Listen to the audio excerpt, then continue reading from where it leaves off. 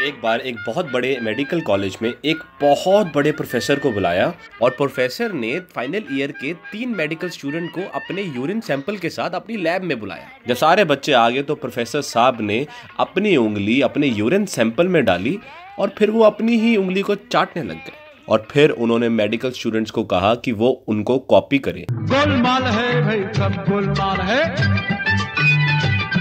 अरे गोलमाल है, भाई सब गोलमाल है।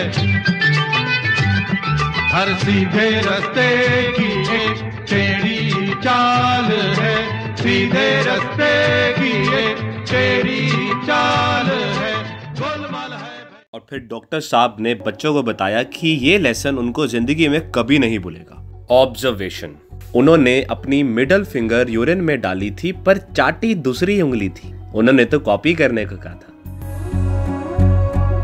Doctor A P J Abdul Kalam. ठोस मज़बूत भरोसा अपने सपनों पे करना। जितने मुँह, उतनी बातें गौर कितनों पे करना।